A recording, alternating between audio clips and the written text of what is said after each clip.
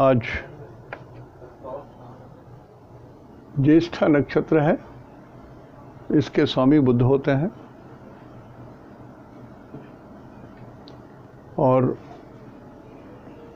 श्रावण माह का ये अंत होने जा रहा है। आज एकादशी तिथि है। आज जो एकादशी तिथि है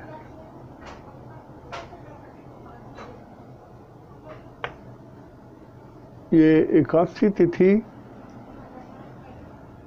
तीस तारीख की बात बोल रहा हूँ। एकादशी तिथि ये पुत्रदा एकादशी कहलाती है। पुत्रदा पुत्र देने के लिए तो जो लोग भगवान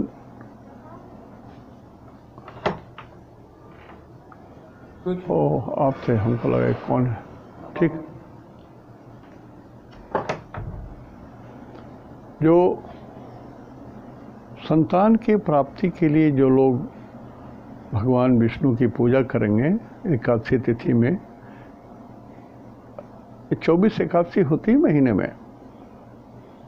और हर एकादशी का अपना महत्व है तो ये महत्व पुत्र के लिए है। तो जो लोग पूजा करते हैं, ठीक है, जो लोग नहीं भी पूजा करते हैं तो भगवान विष्णु का ध्यान करके इतना तो बोल ही सकते हैं कि भगवान मेरे बाल बच्चों का ध्यान रखिएगा जिनको संतान नहीं है तो वो बोल सकते हैं, भगवान मैं तरस रहा हूँ। एक पुत्र तो चाहिए। तो वो एकादशी है आज। दूसरा कि आज का जो ज्येष्ठा नक्षत्र है, वो ज्येष्ठ माने बड़ा। सारे नक्षत्रों में ये बड़ा होता है। बड़ा का मतलब होता है कि ये जो पृथ्वी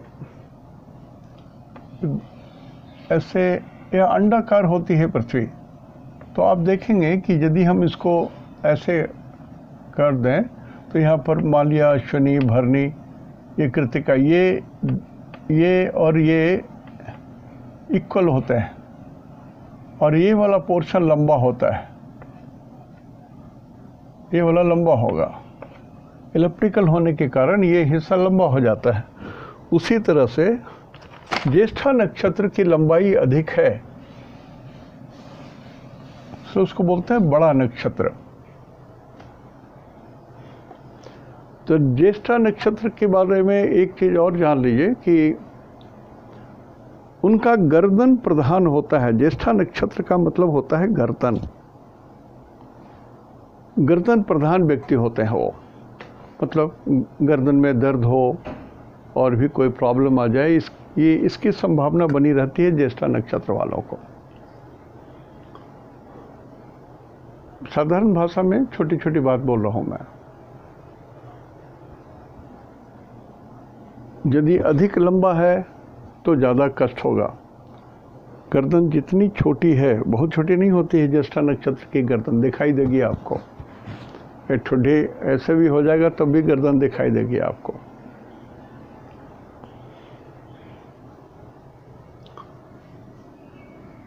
तो आज आकाश में चार नंबर में सूरज है, पाँच खाली है छः खाली है, सात खाली है, आठ में चंद्रमा है, तभी ज्येष्ठा नक्षत्र है। ज्येष्ठा नक्षत्र में चंद्रमा आठ में रहते हैं। तो चंद्रमा जब आठ में रहते हैं तो कोल्ड, ठंडक, परेशानी, पॉटी करने का जगह, हाइड्रोसिल में जो गुल्लियाँ होती हैं, उसमें तकलीफ़ होती है, फाइलेरिया होने का डर रहता है। तो वाटर इज़ योर एनिमी पानी से तकलीफ़ होती है। जिनका ज्येष्ठा नक्षत्र है, उनको बोल रहा हूँ कि जल से ज़्यादा खिलवाड़ ना करें आप। और नौवे में गुरु और केतु हैं ये दोनों ग्रह बकरी चल रहे हैं। इसके बाद दस नंबर में शनि है ये भी बकरी ही चल रहे हैं। ग्यारह खाली है बारह में मंगल हैं। पंद्रह अठारह अगस्त को ये भी बदल जाएँगे ये बदल के यहाँ चले आएँगे। और दो में शुक्र हैं तीन में बुद्ध है और, और राहु हैं। बुद्ध डायरेक्ट है। बुद्ध डायरेक्ट है, इसलिए बोल रहा हूँ कि राहु बकरी है और कुछ दिनों पहले बुद्ध भी बकरी हुआ करते थे। तो अभी बुक्र बुद्ध जो है वो सीधे हो गए। तो ये ग्रहों का सामंजस्य है। ग्रहों का सामंजस्य है ऐसा, इसके बारे में बाद में बोलूँगा। पहले नक्षत्र सिद्धांत से कुछ बातें बता दूँ आपको। आज ज्येष्ठा नक्षत्र है, इसलिए हमारा टारगेट ये है।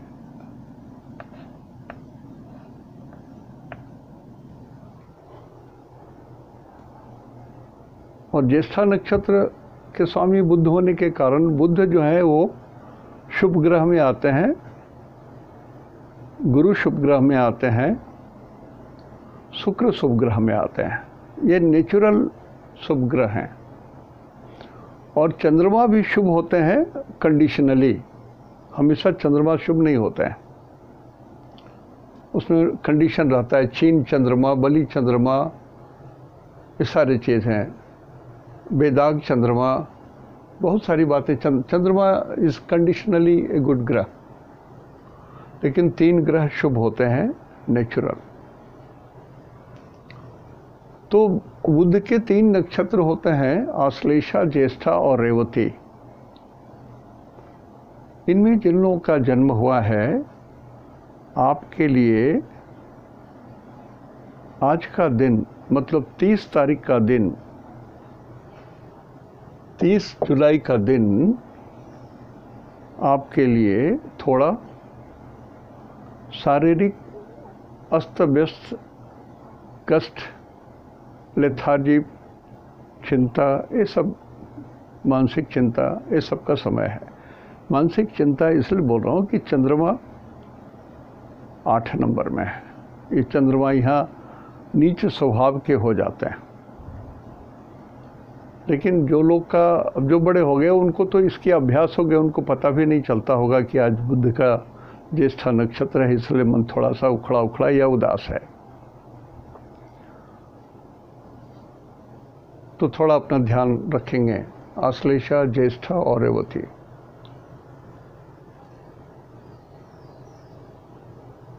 और केतु के तीन नक्षत्र,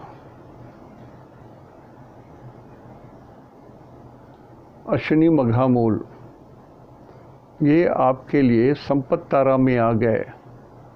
केतु के तीन नक्षत्र वालों को कोई समस्या लगभग नहीं होगी। कुछ तो मिलना चाहिए आपको। आपके लिए आज का दिन, प्राप्ति का दिन है। कुछ पाएँगे आप? शुक्र के तीन नक्षत्र, भरनी, पूर्वा फाल्गिनी और पूर्वा साढ़ा। ये आपके लिए मित्र का दिन है। मित्रता का ये ग्रह आपके लिए मित्र हैं। शुक्र के तीन नक्षत्र में जिनका जन्म है, उनके लिए बोल रहा हूँ। और शुक्र ऐसे भी शुभ होते हैं और आकाश में अभी शुक्र शुभ है। स्वग्रही है। शुक्र भी दो नंबर में है, स्वग्रही है। और इत्तेफाक से शुक्र थोड़े बली भी हैं, उनका, उनमें बल है शुक्र में।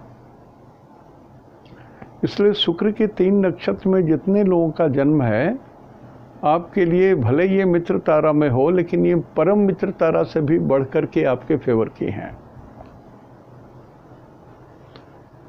सूरज सूरज के तीन नक्षत्र होते हैं, कृतिका पूर्वा साढ़ा पूर्वा फाल्गुनी ये सूरज के तीन नक्षत्र हैं। तो सूरज के नक्षत्र को अपने टारगेट बुद्ध तक गिनेंगे तो ये जन्म, संपद, विपद, क्षेमा, प्रत्यारी, साधक, बाधक या बधतारा सूरज के तीन नक्षत्र में ये ग्रह आ गए तो ये बधतारा के जोन में आ गए। तो जिन लोगों का कोर्ट कचहरी में मुकदमा हो, झंझट हो, सफलता नहीं मिलेगी। जिन लोगों का सरकारी कार्यालय में कुछ काम हो, कोई हेल्प नहीं मिलेगा। बेकार का समय बर्बाद करना है और सरकारी पदाधिकारी छोटे हो या बड़े हो, ट्रैफ़िक कांस्टेबल हो या शहर के एसएसपी हो, कोई भी हो, आपको मदद नहीं करेंगे आज। इसलिए प्रेम से रहिए, झुक के रहिए, शांति से रहिए और उत्तेजना में कोई चीज़ लेकर के उनके पास पहुँच जाएँगे तो उल्टा आपको डांट पड़ेगी।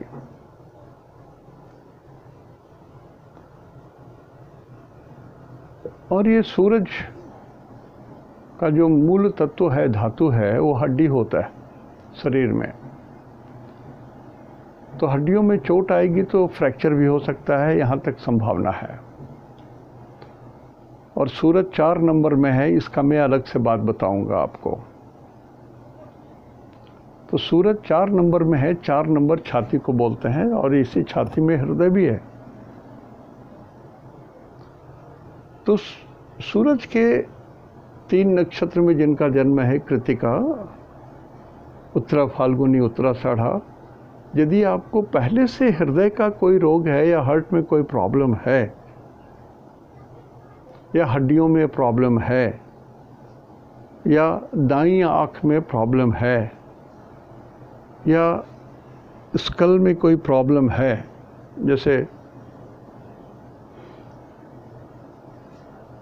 केस के जड़ में कोई समस्या है, रूसी है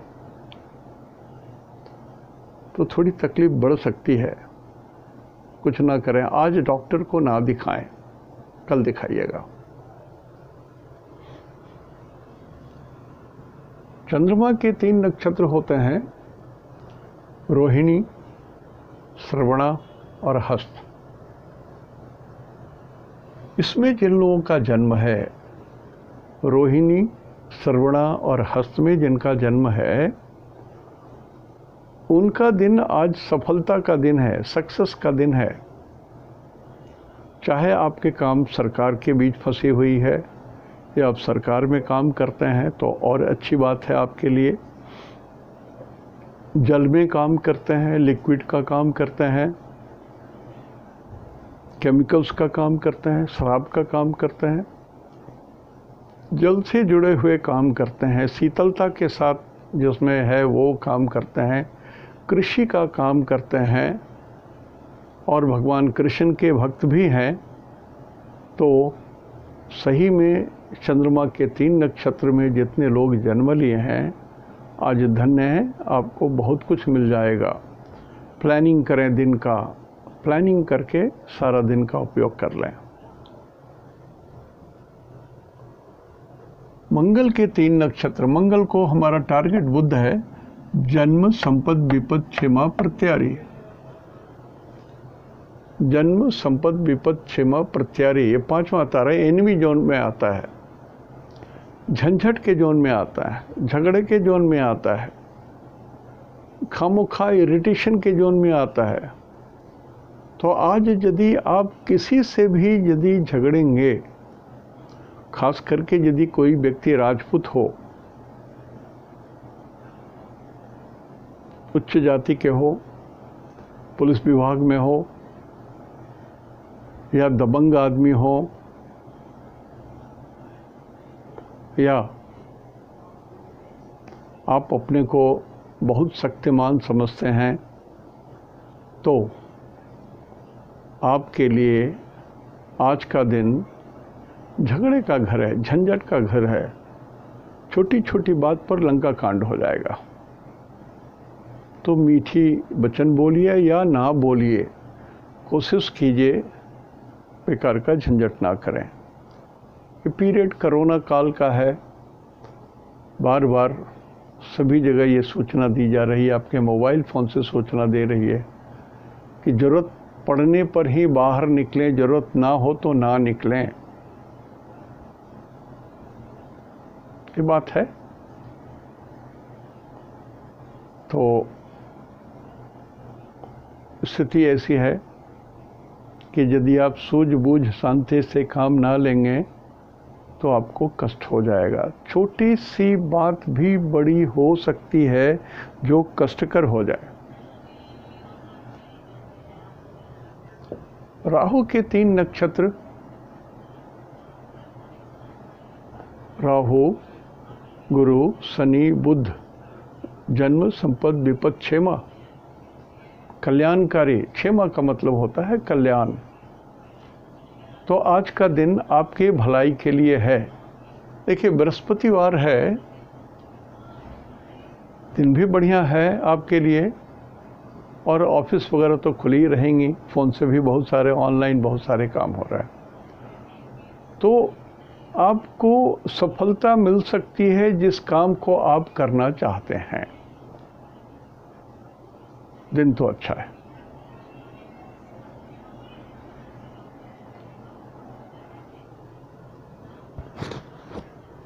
तो राहु के तीन नक्षत्र वाले आद्रा, स्वाति सतभिसा दिन का समुचित उपयोग कर लें, आपके फेवर में दिन जाएगा।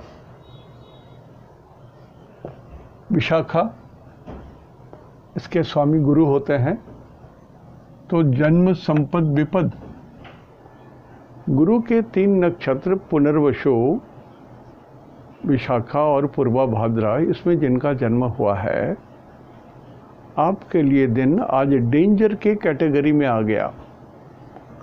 डेंजर में बहुधा एक्सटर्नल इंजरी की बात होती है। और कभी कभी आप पेपर में कुछ चीज़ ऐसा दस्खत कर देंगे, बिना सोचे समझे तो वो आपको एक खतरे की ओर लेके चला जाएगा।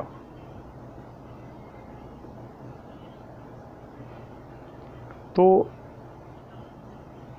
ऐसा कुछ ना करें, जो झगड़े या आपके शरीर को कष्ट में डाले, ऐसा कुछ भी ना करें आप। ये गुरु का नक्षत्र है, ये ब्राह्मण का नक्षत्र है।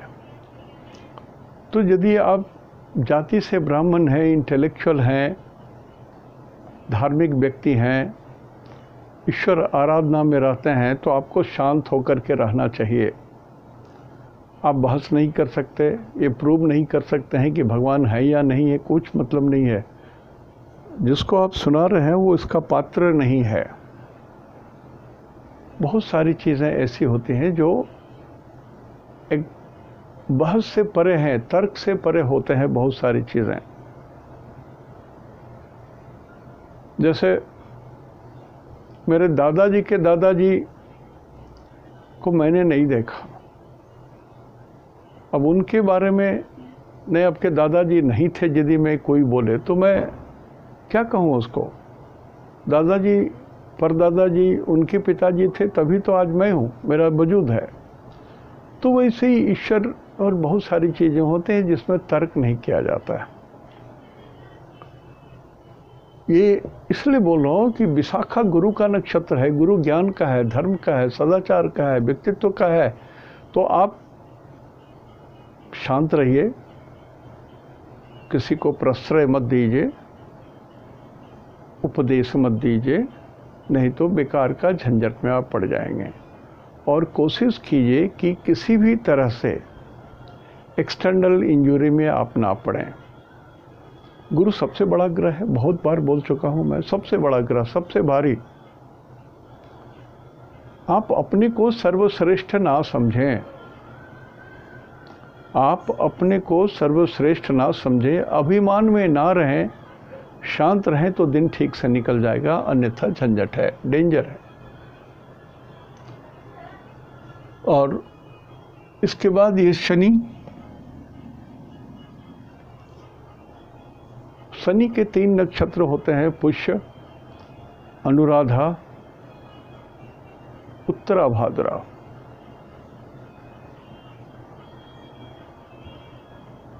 ये शनि आपको यद्यपि इनकी गति धीमी होती शनि है चरती, इति शनि।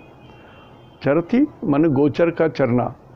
तो जो ग्रह आकाश में सबसे धीमे चलता हो, उसको शनि कहते हैं। शनि है चरती, इति शनि। लेकिन आज कुछ भी यदि आपके लिए होगा धीरे धीरे ही सही। जैसे आप गए किसी क्लर्क के यहाँ, किसी ऑफ़िस में, आपका कुछ काम है, ब्लॉक ऑफ़िस में चले गए। वो व्यक्ति टाल मटोल कर रहा है धीरे धीरे काम कर रहा है, आप अकबका जाएँगे, ये जानबूझ के डिले कर रहा है। हो सकता है आप सही हों। लेकिन वो काम धीरे धीरे भी करेगा, कैसे भी करेगा तो आपको कुछ मिलेगा। आप सक्सेसफुल रहेंगे, आपके फेवर में ही होगा। शनि की आप पर आज पूरी कृपा है, उपयोग कर लीजिए जैसा आप चाहते हो। तो ये तो रहा कि नौ ग्रह के और सत्ताईस नक्षत्रों के बारे में मैंने आपको बताया। और मैंने कहा था कि कर्क के लिए मैं आपको कुछ बताऊँगा। उसका कारण यह है कि कर्क में सूरज है। सूरज का मतलब होता है पृथ्वी। पृथ्वी, अर्थ।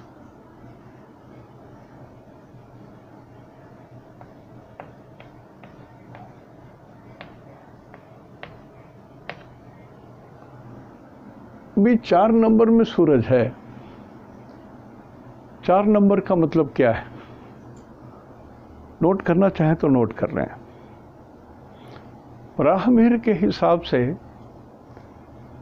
चार नंबर का मतलब होता है दक्षिण दिशा।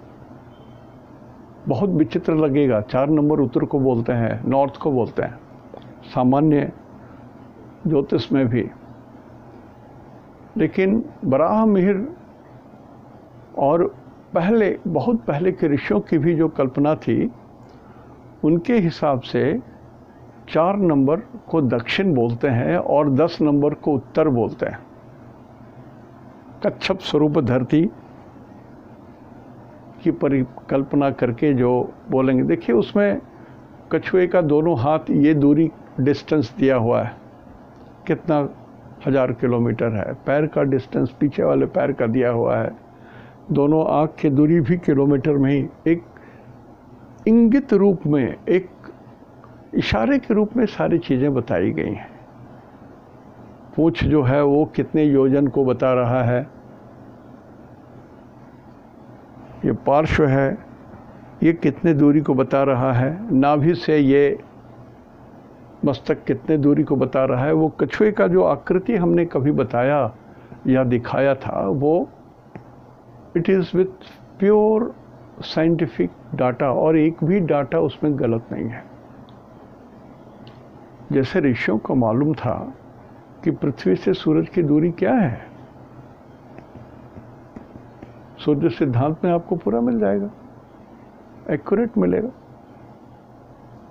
अब दो आदमी माप रहे हैं किसी एक डिस्टेंस को और दोनों आदमी लगभग 9.5 बोल रहे हैं एक आदमी 9.4 बोल रहा है 9 तो सही है दोनों का लेकिन पॉइंट फोर या पॉइंट फाइव का जो मेज़रमेंट है वो वेरी कर सकता है आई में भी करेक्ट और यू में भी करेक्ट मापनी की एक अपनी स्थिति है। हम लोग साइंटिफिक वे में बोलते हैं कि वही सही है जो साइंस का है। लेकिन लगभग आपको समान मिलेगा और तो कच्छप स्वरूप धरती में वो सारी चीज़ें समान मिलेंगी आपको। थोड़ा अध्ययन कभी कीजिएगा तो आपको मिलेगा। जो लोग ज्योतिष के प्रशिक्षु हैं, जो सीखना चाहते हैं, जो जानना चाहते हैं ये बड़ा रहस्यमय चीज़ है। कभी मौका मिले, कभी कहीं पुस्तक मिले तो ज़रूर पढ़िएगा ज़रूर पढ़िएगा और पढ़िएगा ही। बहुत सॉल्व हो जाएगा, बहुत सारा चीज़ चुटकी में सॉल्व हो जाएगा। अब जैसे ये चार नंबर में सूरज है तो हमने इस ट्रेंगल बनाया, एक त्रिकोण है, चार त्रिकोण होते हैं संघत चक्र में तो चार, नौ और पाँच। तो चार में सूरज हैं। इस सूरज को वेद कर रहे हैं कौन? गुरु कर रहे हैं और केतु कर रहे हैं और दोनों वक्री हैं, उल्टे अवस्था में है, उल्टे हैं। रिवर्स में है तो इस पृथ्वी को सूरज उलटना, गुरु उलटना चाह रहे हैं।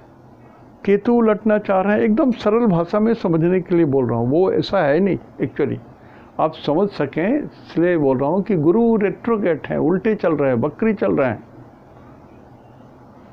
तो जो आदमी पीछे चल रहा है और किसी का हाथ पकड़ेगा तो अग, जिसका हाथ पकड़ा है उसको भी तो पीछे की ओर ही घसीटेगा। तो पृथ्वी को उल्टे चलाने की कोशिश कर रहे हैं पीछे चलाने की कोशिश कर रहे हैं गुरु के ज़रिए। और केतु के ज़रिए गुरु सबसे बड़ा ग्रह। उसका गुरुत्वाकर्षण सबसे बड़ा है। तो पृथ्वी की गति, जो घूमने की गति है, उसमें ऑब्स्ट्रक्शन केतु भी डालेंगे और गुरु भी डालेंगे। तो गुरु जब तक चार में है, लगभग सोलह तक है। देख लीजिएगा सोलह सत्रह। तब तक अभी पृथ्वी का हिलने की कहानी खत्म नहीं हुई है। भूकंप की कहानी खत्म नहीं हुई है। खतरे की कहानी खत्म नहीं हुई है। केतु को एक्सटर्नल इंजुरी बोलते हैं। तो ये सब चीज़ अभी कुछ बाकी है। अब रहा उत्तर कहाँ को बोलते हैं? ये उत, ये जो सॉरी, कर्क राशि जो है, भारतवर्ष में दो शहर को बहुत प्रोमिनेंटली इंडिकेट करते हैं। एक है कलकत्ता और दूसरा है हैदराबाद। तो ये जो हिलने डुलने की प्रक्रिया या चार नंबर की प्रक्रिया है तो कलकत्ता को भी कष्ट दे सकता है 16 तारीख तक और हैदराबाद में भी दे सकता है। लेकिन मैंने जो अपने नोटबुक में बहुत पहले कुछ रखी थी तो उसके हिसाब से कुछ बता देता हूँ। ये भारतवर्ष में सिंध के आसपास का क्षेत्र है, वो भी पड़ जाएगा आपको। लेकिन समुद्र के किनारे के जो शहर हैं या जो देश हैं situated at the bank of अब मैं दक्षिण की भाषा बोल रहा हूँ, हैदराबाद भी बोल रहा हूँ और समुद्र के किनारे के क्षेत्र को बोल रहा हूँ तो बेंगलोर वगैरह भी आ गए उसमें, मद्रास आ गए। तो ये तो नक्शा देख करके आप समझ सकते हैं।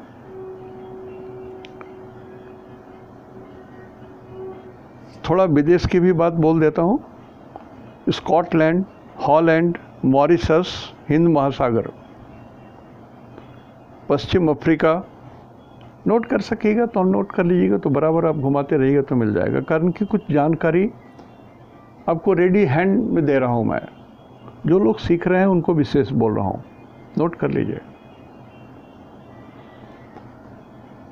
पश्चिम अफ्रीका, पैरागुआ मतलब दक्षिणी अमेरिका में पड़ता है ये। New York, Italy, Sweden, Manchester, England में है ये। तुर्की ट्यूनीसिया ये दक्षिण अमेरिका में पड़ेगा। स्विट्ज़रलैंड, ये ग्रेट ब्रिटेन में पड़ता है। Geneva, Georgia. तो ये कुछ क्षेत्र हैं जो चार नंबर या कर्क राशि को इंडिकेट करते हैं।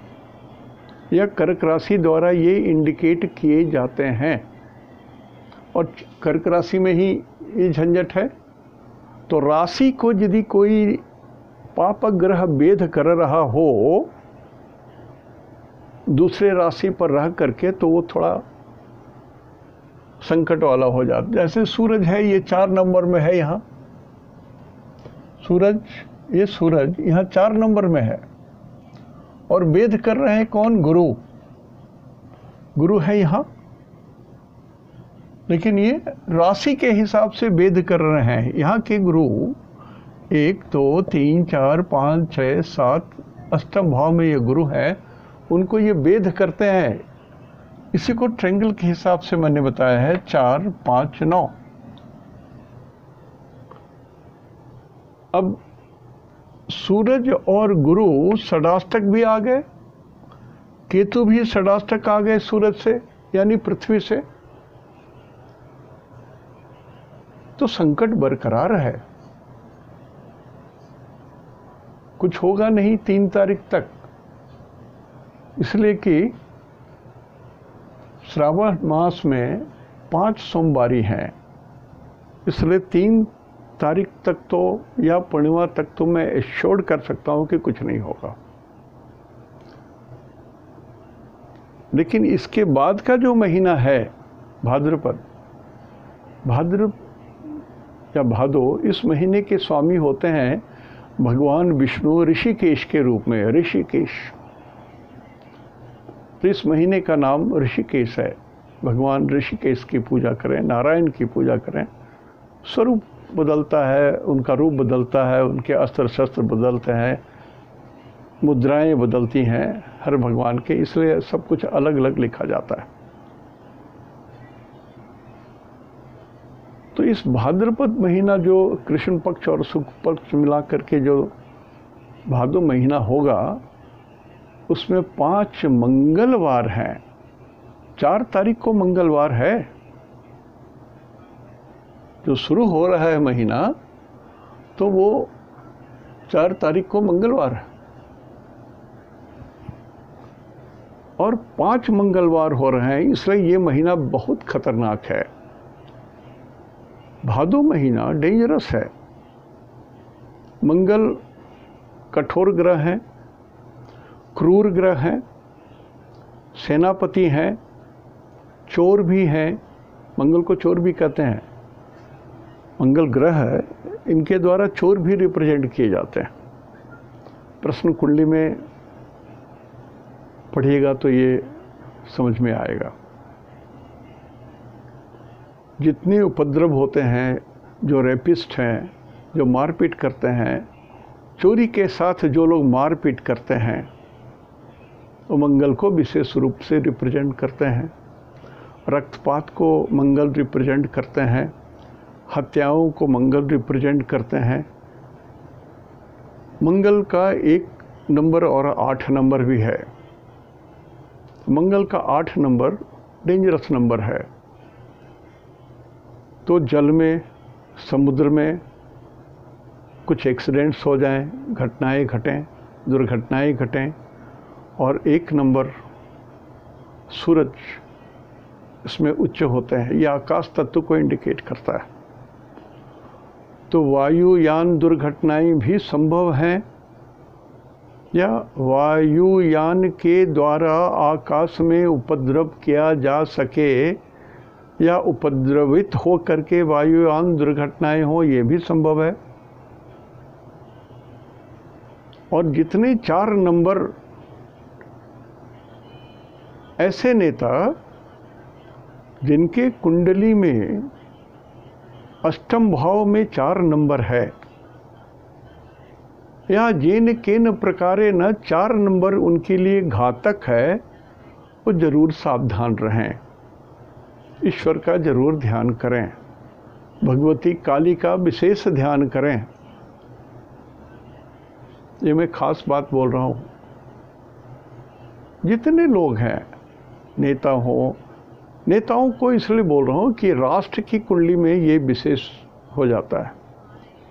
और व्यक्तिगत कुंडली में भी ये है तो जिनके अष्टम भाव में चार नंबर है और वहाँ पर क्रूर ग्रह हैं, जैसे मंगल ही हैं तो डूबने का डर, पानी से डर, आकस्मिक मरने का डर, खून खराबे से डर, अपहरण होने का डर, मारपीट होने का डर, ये संभव है।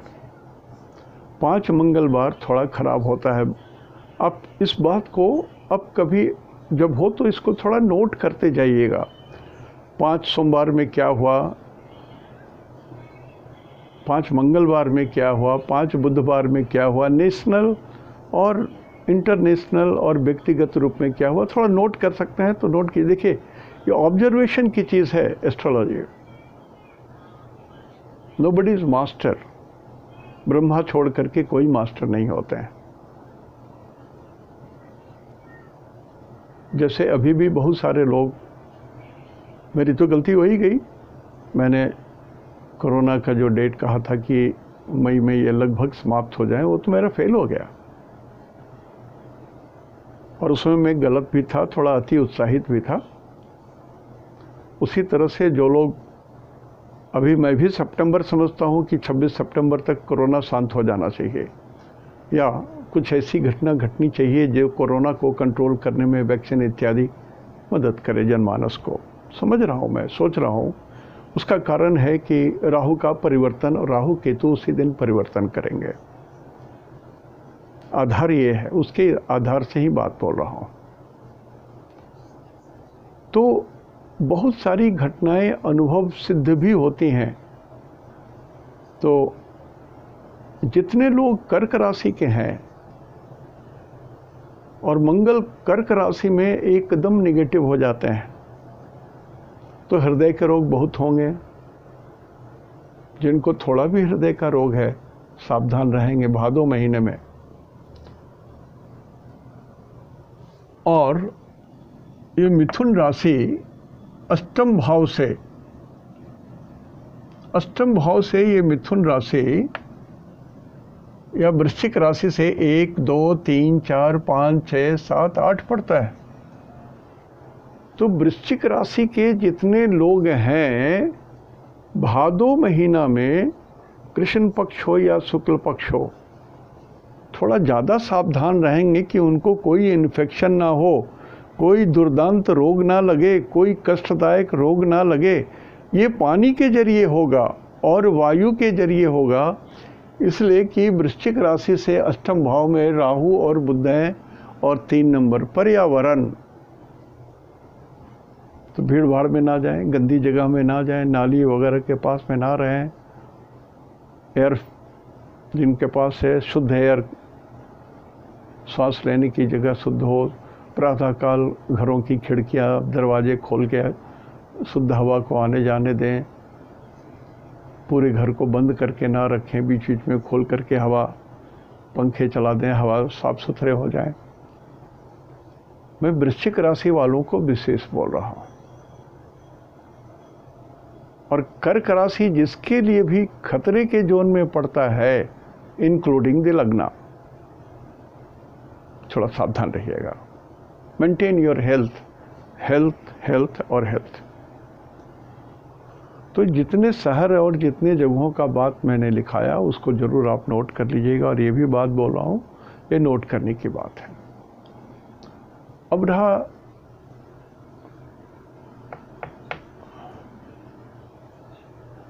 ये सूरज को आधार मानक करके ये कुंडली बनाई है। सूरज की कुंडली है ये।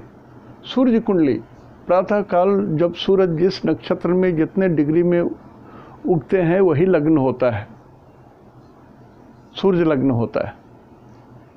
तो इस सूरज से अष्टम भाव में गुरु केतु हैं तो गुरु केतु तंग कर सकते हैं। हमने कहा कि कुछ तो झंझट हो सकती है धरती पर, और उत्तर दिशा में भी हो सकती है, और आठ नंबर में भी हो सकती है। आठ नंबर को दिल्ली बोलते हैं। आठ नंबर दिल्ली भी कहा जाता है। बहुत सारा एरिया है।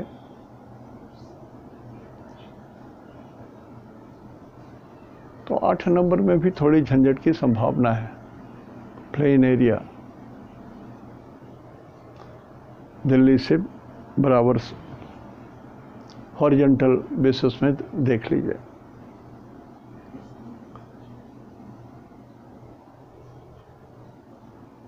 और सूरज से राहु और बुद्ध दुई द्वादश हैं तो भूकंप के लिए कुछ ग्रह बहुत इंपॉर्टेंट होते हैं, जैसे सूरज, शुक्र और बुद्ध ये छोटे ग्रह भी भूकंप को बहुत प्रेरित करते हैं। जैसे ये बुद्ध सूरज से दुई द्वादश में आ गए, या ये सडाष्टक में आ जाते, तब भी पृथ्वी को हिलाने की शक्ति वो रखते हैं। इसलिए कि सूरज के 90 डिग्री के भीतर ही बुद्ध रहते हैं और शुक्र रहते हैं। नब्बे, सूरज से 90 डिग्री के बाहर जा ही नहीं सकते, बुद्ध और शुक्र सटे रहते हैं। तो जब बुद्ध में विकार उत्पन्न होगा तो पृथ्वी को भी विकृत करना चाहेंगे। शुक्र में विकार उत्पन्न होगा तो पृथ्वी को भी विकृत करना चाहेंगे। और ये जो भूकंप वगैरह आते हैं, वो इसका भी एक समय है। मॉर्निंग आवर्स में इवनिंग आवर्स में मध्य रात्रि में, मध्य दिवस में, पूर्णिमा के दिन, अमावस्या के आसपास, पूर्णिमा के आसपास, या जो ग्रह बहुत भारी हो गए, जिस दिशा को भारी कर दिए उसमें कोई गोचर ग्रह वहाँ से बदल रहा है या ढुक रहा है तो उस दिन के आसपास तो बहुत सारी थ्योरी हैं इसमें। राशिफल में इतनी चीज़ें नहीं बताई जा सकती, लेकिन संभवतः मैंने सब एक क्लियर कर दिया है। तो चंद्रमा से गुरु सेकंड हाउस में है, केतु में है तो वृश्चिक राशि वाले लोग बोली थोड़ा मीठा बोले। मैंने चंद्रमा को पकड़ के ही बोल रहा हूँ अभी, मीठा बोले। तीसरे का शनि आपके लिए सक्सेस जोन में आ गया। पाँचवें का मंगल, बाल बच्चों से झगड़े मत कीजिए और बौद्धिक क्षमता अपनी जो क्षमता है, उसका प्रॉपर उपयोग करें। सातवें घर में सुख रहें, दाम्पत्य जीवन सुखी रहेगा या औरतों से लाभ होगा। यहाँ से नवम भाव में अष्टम भाव में राहु और बुद्ध हैं। इन्फेक्शन से बचें, इन्फेक्शन से बचें, इन्फेक्शन से बचें।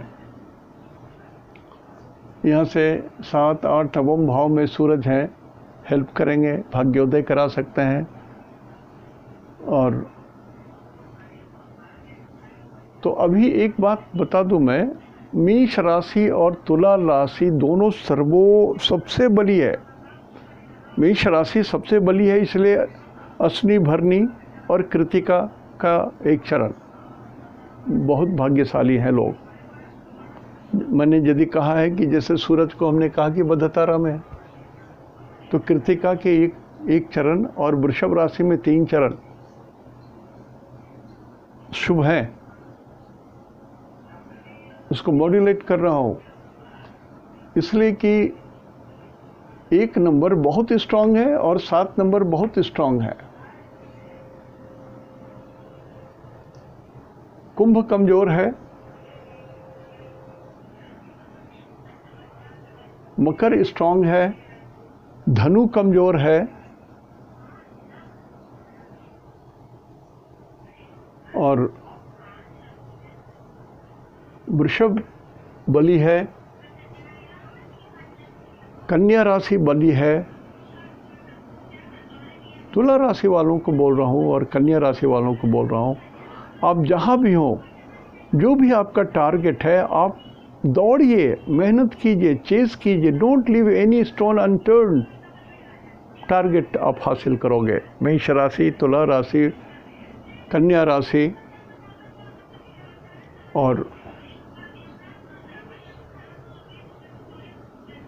कर्क राशि थोड़ा कमज़ोर है। कुंभ राशि कमज़ोर है। धनु राशि कमज़ोर है।